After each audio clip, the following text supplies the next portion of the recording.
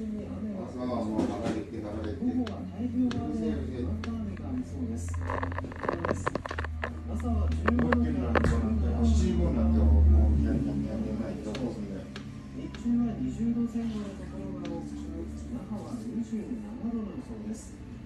近畿、東海、北陸です。雲が広がりやすく、日本海側は午前を中心に雨が降るでしょう。午後もにわか雨のところはありそうです。気温です。朝は15度前後のところが多いでしょう。日中は東海で20度を超えるところが多く、静岡は24度まで上がりそうです。関東甲信越です。日中は晴れ間が出るところもありますが、変わりやすい天気でしょう。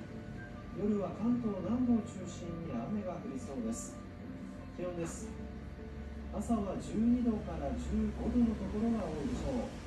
日中は関東で24度の予想です。東北と北海道です。明け方まで雨が降りますが、日中は次第に晴れ間が広がるでしょう。